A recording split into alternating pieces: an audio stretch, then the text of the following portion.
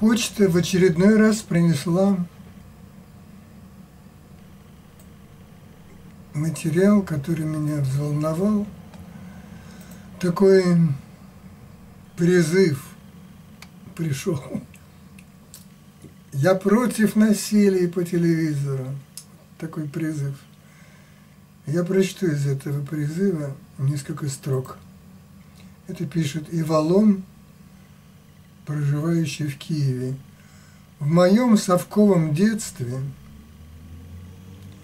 значит, в советском детстве, меня очень травмировало, что по телевизору ежедневно показывали убийства, так как было очень много фильмов про войну.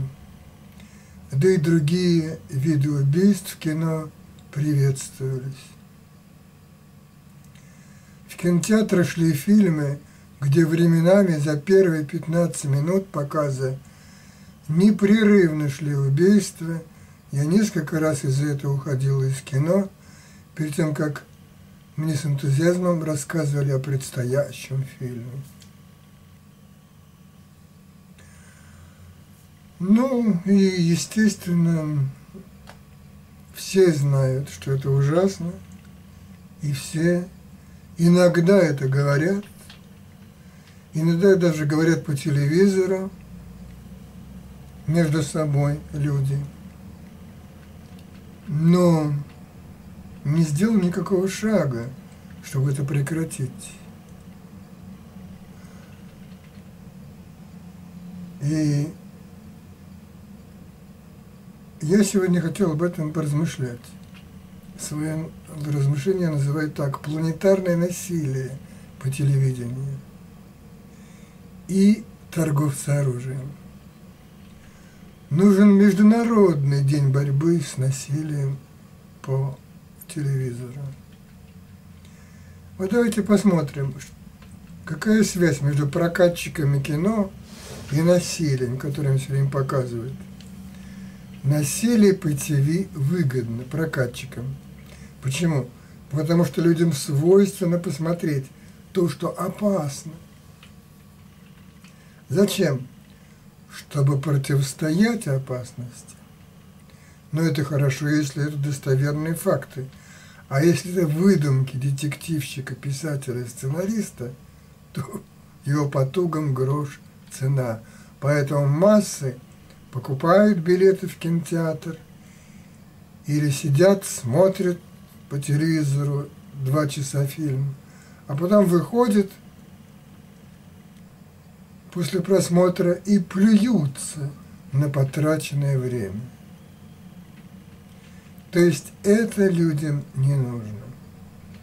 Насилие и торговцы оружием. Ну вот эти фильмы, стрелялки, догонялки, где стреляют и стреляют и стреляют, и все никак не умирают и не падают. Прекрасные торговцы, прекрасная реклама для торговцев – насколько безопасно оружие. Два часа там люди стреляют из пистолета, и, и только иногда кого-то подстреливают. И то никакой драмы и трагедии, все так весело и замечательно.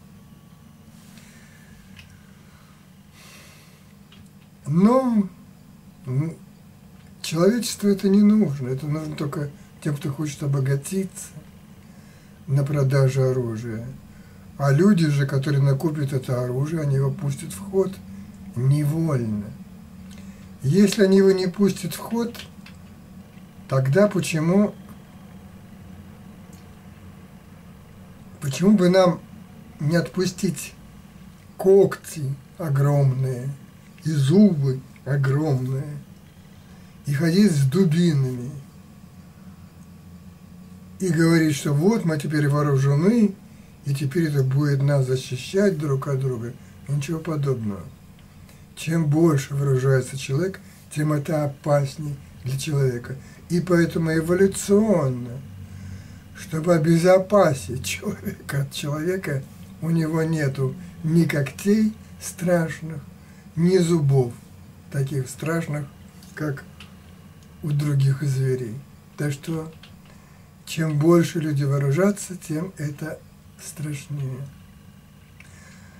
Вот насилия и формирования человека.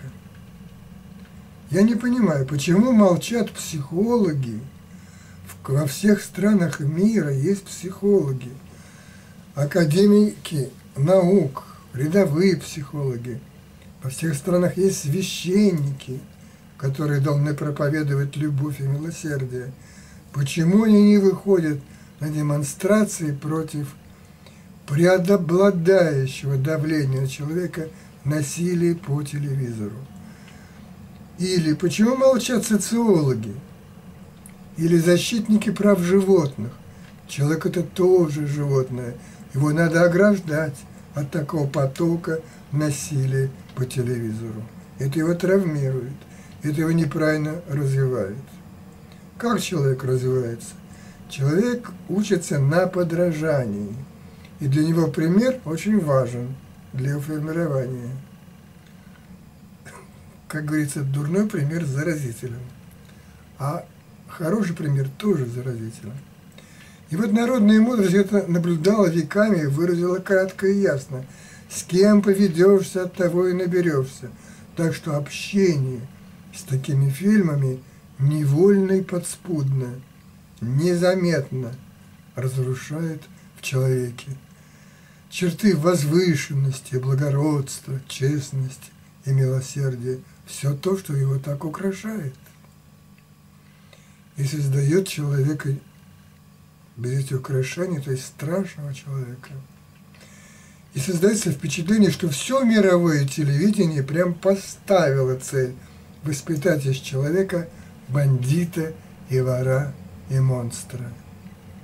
Но как можно с этим мириться? Надо просто назначить Международный день борьбы за очищение телевизора от насилия. Ну вот сегодня какой день? 18 апреля, четверг. Вот и давайте считать 18 апреля днем международного борьбы с насилием по телевизору.